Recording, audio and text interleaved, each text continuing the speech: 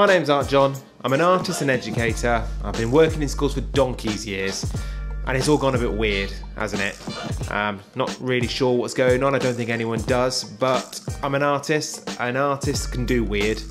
And the way we do weird is we make things. And that's what this channel's about, is about me showing you ways that you can make things. And I think it's kind of perfect for those of you who are stuck at home or those of you who are still having to go into school and work with children who need to be in that setting. And so if that is you and you find this valuable, make sure you subscribe because my plan is to make as many Art John YouTube videos as possible so that it gives you the ammunition to be entertained, to be active, to be creative, and to keep on going. So let's just go and make something, something really easy but really effective. We're going to create an atmospheric landscape using a piece of chalk, some black paper and some white scrap paper. It doesn't take that long, it looks brilliant and it could not be easier.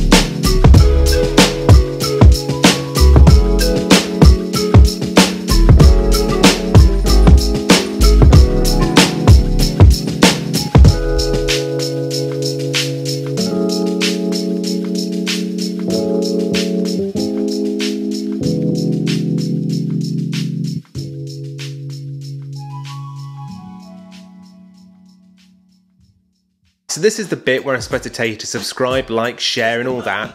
But just go check out all my other videos on my channel. There's loads on there. You'll get loads of value out of it. It will keep you going. And then just make sure you stay safe and you look after each other. See you in the next video.